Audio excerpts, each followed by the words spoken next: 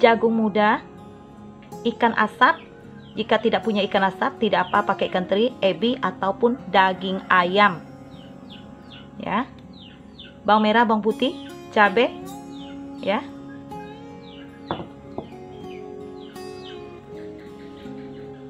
Ini kalau labu ya, dulu nenek masih ada. Dia beladang banyak kita jumpai di ladang nenek. Akan menghaluskan bumbu-bumbunya ya.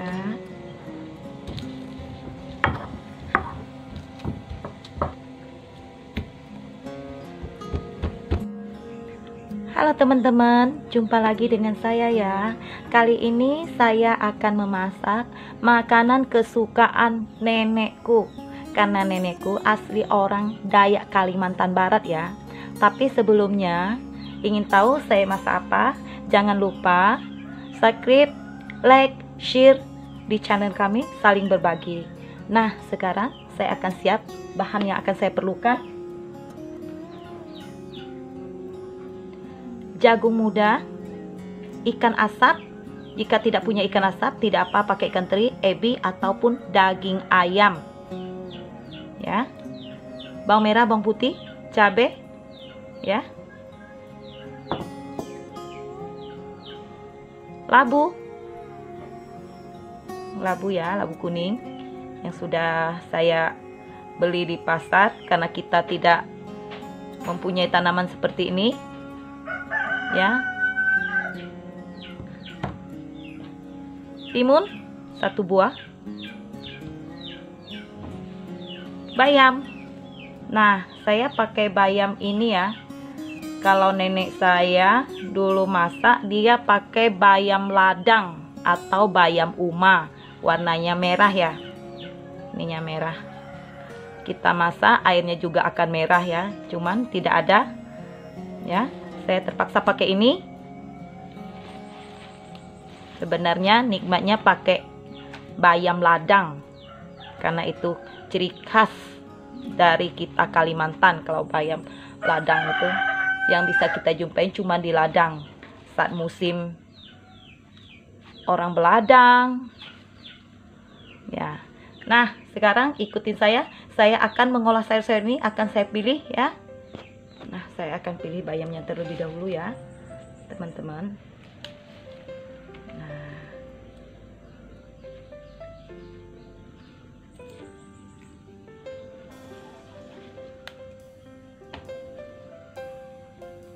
Ini kulit-kulitnya kita buang ya.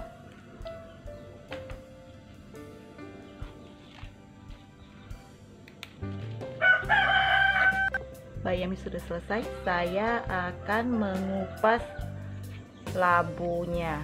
Labu kuningnya saya buang. Ini kalau labu ya dulu nenek masih ada. Dia beladang banyak kita jumpai di ladang nenek. Tidak perlu beli timunnya akan saya kupas ya. Saya akan membuang getahnya terlebih dahulu. Ya ini caranya. Membuang getah timun. Nah ini dia teman-teman. Ini bahaya sekali getahnya. Tak lagi yang mengalami pektai ataupun keputihan. Nah ini. Akan saya buang Iya. Oke, saya kupas buang kulitnya.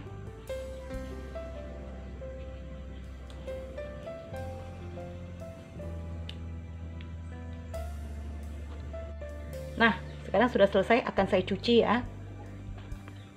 Nah, teman-teman, tapi sebelumnya saya akan melakukan pengerebusan airnya terlebih dahulu ya. Nah, saya akan menghaluskan bumbu-bumbu yang akan saya pakai. Nah, saya akan memotong labu serta timunnya ya.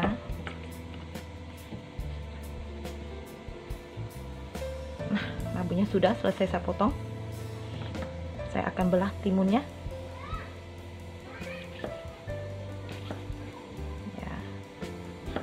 Saya belah empat ya.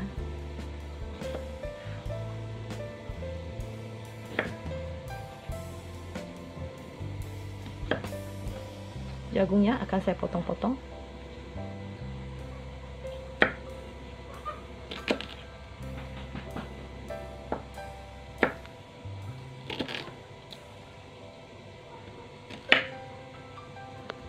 Ya, jagungnya sudah selesai ya. Saya akan menghaluskan bumbu-bumbunya ya.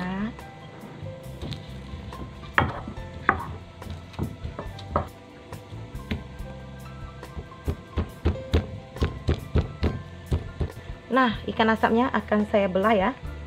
Saya saya kupas. Nah. Nah, ini dia. Kita buang tulang-tulangnya ya.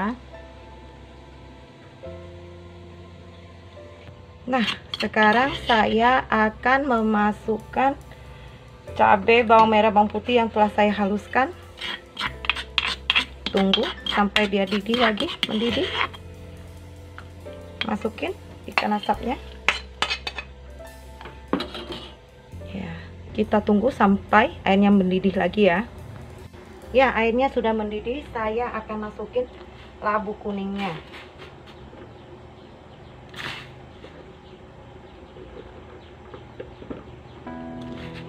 Labu kuning beserta timunnya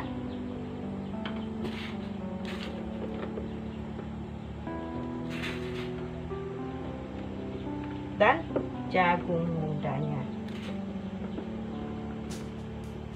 Sudah harum ya teman-teman ya. Sudah tercium. Ya kita tunggu sampai matang buah labunya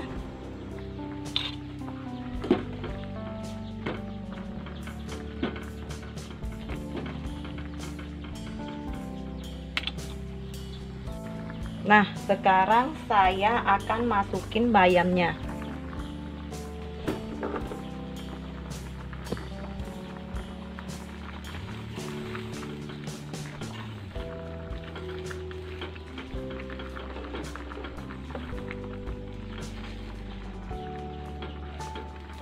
Saya akan tambah garam setengah sendok makan. Jika mau asin, tambah lagi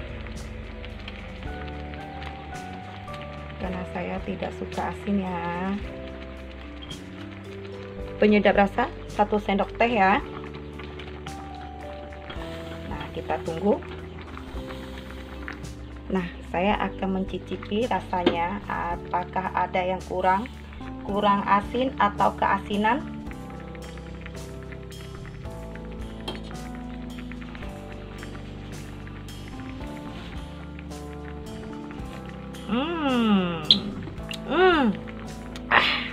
sudah mantap, sudah pas ya. Uh. Nah, sekarang sudah selesai ya. Sudah mateng. Nah, ini dia ya. Makanan favorit nenekku. Sudah mateng, sudah selesai maknyus. Jangan lupa ya resep-resepnya teman-teman, ibu-ibu, bunda. Ini masakan kesukaan nenekku masakan bening makanan Kalimantan ya. Makanan kampung istilah bahasa kita Dayak sini. Nah sampai jumpa lagi ya untuk channel berikutnya menu berikutnya. Dadah